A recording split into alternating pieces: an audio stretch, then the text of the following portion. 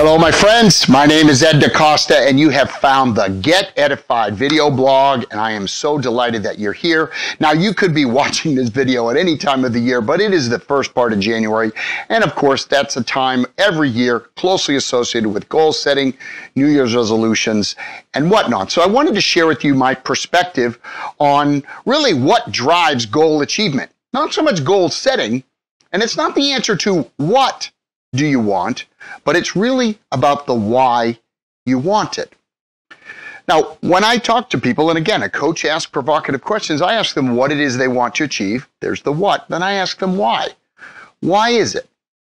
And I want you to dig deep. I want you to go underneath the surface. If you say you want a new car, well, don't just say it's because your, your existing car is is old or you know is not reliable. I get that. That's a legitimate answer, but it doesn't speak to the depths of human desire and the whys that drive us to uh, pursue our goals with not only great vigor, but with great endurance. That means not give up like most people do on all of their New Year's resolutions or poorly thought out goals. And, and again, John Maxwell, he talks about the difference between success and significance, truly making a difference in the lives of other people. So what are, what are the whys behind the things that we want to achieve? We want a new job, a better relationship.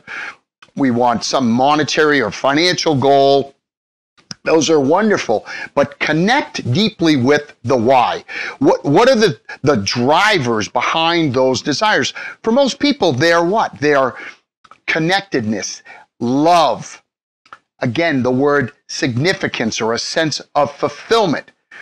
It's, um, for many people, it's safety and security. So start with those base human needs that we have, that you have, and then build your goals from those elements, those foundational elements of what human desires are. So, you know, ask yourself, when do you feel most fulfilled? When do you feel most connected? When do you feel like you are loved or you're able to share love?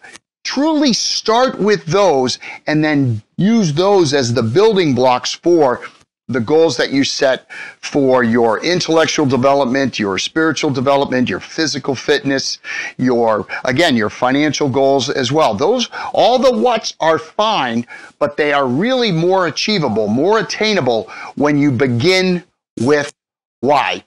Again, my name is Ed DeCosta, and I hope you found this video helpful. Wherever you are in this great, big, beautiful world of ours, make it a great day.